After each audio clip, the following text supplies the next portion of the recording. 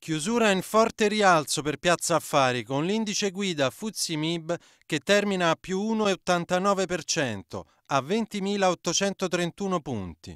All share a più 1,71%. Mercati europei galvanizzati dalla tregua annunciata in Ucraina.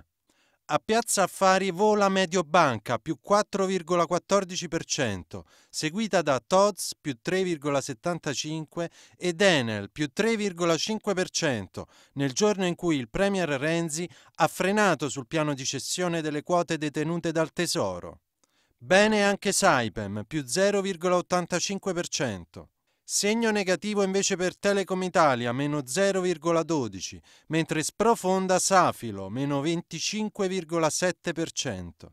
Chiusura stabile a 151 punti per lo spread tra BTP e Bund decennali, con un rendimento al 2,46%. Quanto al differenziale tra bonus e Bund, si attesta a 132 punti con un tasso del 2,28%.